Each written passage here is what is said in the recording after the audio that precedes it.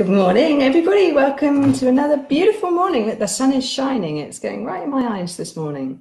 Now, I've just finished my breakfast. What have you guys been having for your breakfast today? I had a lovely slice of toast with honey, which is one of my favorites. Good morning to the Howells. Lovely to see you. Okay, so I'm going to talk a little bit about bees. And what I thought I'd do is set you a little craft challenge. Now, this is relatively easy, she says, if you've got some wool to hand. And we're gonna, I'm gonna make some, they're gonna be kind of like bees.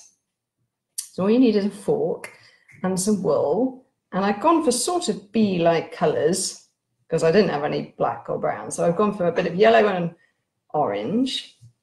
And what you need to do is first of all, just cut yourself um, a length of one of your bits of string um, wool, maybe about that long. I'm going to just tilt the screen a little bit so you can see what I'm doing. Okay, so with my fork, I want the, want the wool to be sort of either side of the middle bit. And then we're going to take our bits of wool now. You don't have to cut a length off. You can just keep it on, on the ball. So I'm going to go two at a time because it's just quicker. What I'm going to do is wrap them round the the tongs, is that what we call it, of the fork? Tines? I don't know what they're called. But try and keep this other middle bit out of the way. So don't have to tie a knot or anything, you just go for it.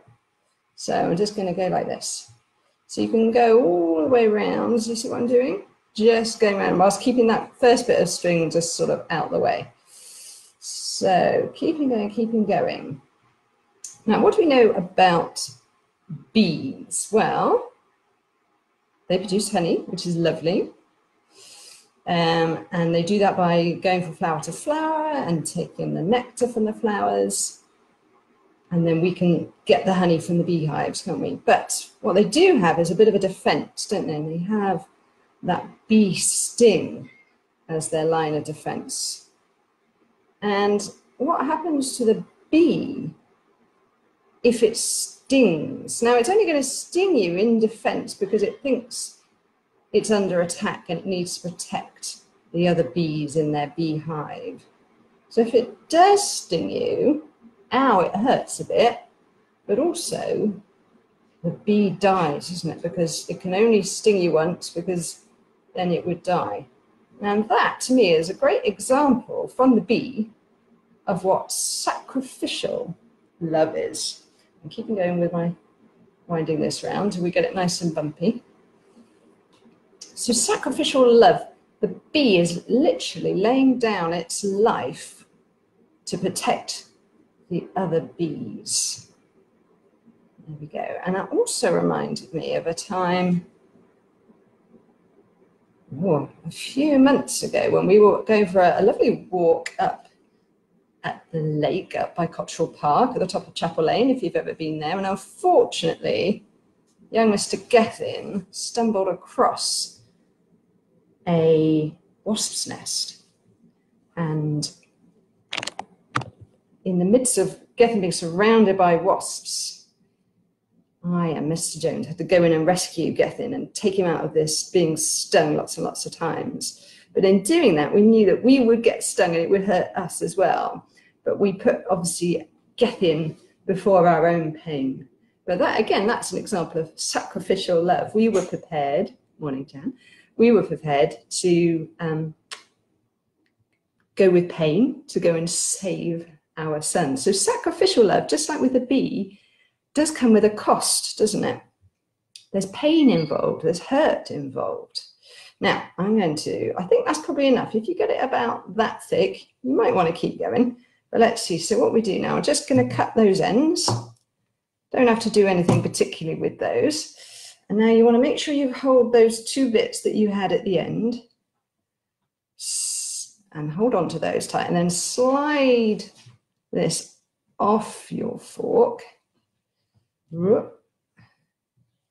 Okay, and then with those two ends, just pull it nice and tight and do a knot whoop, as tight as you can. This could all go disastrously wrong. Never try and do live crafts. Nice tight knot there, I'll do a third one. And then you get your scissors, and they'll need to be quite sharp scissors, so you might want a bit of help. And then where you've got all the, the loops, just cut through the end of those loops. And you'll start to see what happens. We are starting. Now be careful not to cut the tie that you made, otherwise it'll all fall apart and we'll have to start again. To bring it back up with me. So you start to cut away all those loops, as I say, and we start to get our bee. Well, now you can either keep it, give them a little bit of a trim, keep it like that, so you've got your kind of bee wings with your bee body, and you can stick some googly eyes on the front, or you can just go the full hog and just turn it into a lovely fluffy bug by cutting through all of them. And basically what you've got is a very quick, easy way of making a pom-pom. Here we go. So these are my bee pom-poms. And we were, when we think about the bee now, we can think about the sacrifice that a bee makes to protect others. And why am I thinking about that? Well, of course, yesterday we talked a little bit about how sin separates us from God and how sin is when we fall short of God's standards. But of course, at Easter, we had Jesus showing us the ultimate sacrificial love, didn't he? So, this is a little bit like what it's like for us. Okay, so imagine this is us. Okay, so clear as we were designed to be, but we all do fall short of God's standards. And that's when the sin comes into our life. And a sin, it's a bit like a black mark. So it changes us, it? It's a bit like a black mark on the register. You know, when I bet sometimes you're a little bit late. And if you're really late at school, you get a black mark on the register, don't you? You get that big fat zero. And Mrs. Matthews ain't going to change it for you, is she? It goes on to your record and it's always there and you can't take it away. That cup of water. And so even if you do something really good for the rest of the day and you've got gold stars and tokens and head teachers awards, that black mark from being late that first time would still be there and you can't take it away. And even now, my, my wonderful assistant Holly is going to bring me a quick bit of water because I'm not organized enough to have it ready. She's doing a wonderful job. Try not to spill it for me. So, as I say, even if you do those good things, you know, throughout the day, it still can't take away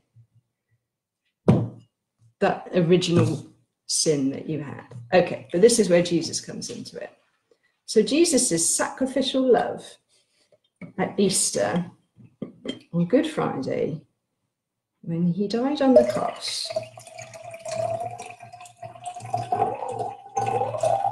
is so perfect and so complete that it can take away all of our sins, all those times when we've fallen short of God's standards. And I think that's something we really should be thankful for, isn't it? Sacrificial love. I bet some of you parents can probably uh, relate to being a bit sacrificial at the moment. Have you, any of you, gone without milk in your coffee because you're running low and you know your kids want it for the for their cereal, or have you given up that last slice of toast so that they can have something? And we see that, don't we, with all our NHS workers at the moment and people doing deliveries, keeping the shops going. They are sacrificing. They're sacrificing maybe being able to spend time with their families or having to isolate from them and even their own health to do something uh, really important for the rest of us. And we show our appreciation, don't we? We've been drawing the rainbows, we've been doing the clap, um, the clapping on Thursday evenings, and that shows our appreciation. And it's the same for what Jesus did for us. We need to show our appreciation for what he did. And because it's there, it's there for us to take and to be thankful for and to accept freely. Now, can you imagine if in this situation now we've got those scientists working really hard and they're going to come up soon with a vaccination for this virus? And then everyone will be able to go back and live freely again, won't they? You can imagine if you decided, I don't really want that. Don't, don't think I want that. Like, you know, not really very grateful for that. It'd be a bit daft, wouldn't it? And it's the same with what Jesus has done for us. It's such a big sacrifice that Jesus made that it's really important that we do accept it. It's freely there for us to take. So that's my message today. It's going back to the fact that even all those sins that we do, even the little ones, all add up, but they can all be taken away and we can be made whole again. So I'm going to go back to that song that we learned first, first week about God's love to the Flintstones tune. God's love is the best love. We're seeing lots of acts of love at the moment, and that sacrificial love, just like the bee, laying down his life to protect the others. Jesus laid down his life. Right, I'm going to, you. hopefully, you remember the words from last time.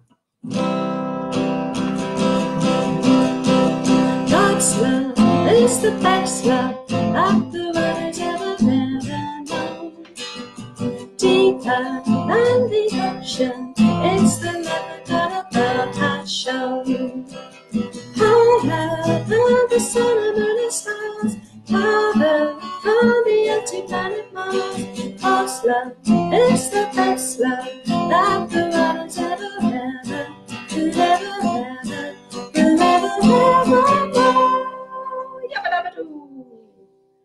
I will see you again tomorrow for what will be the last assembly for this term, but we'll be back again after the Easter holiday. So stay safe, see you tomorrow, and see you soon.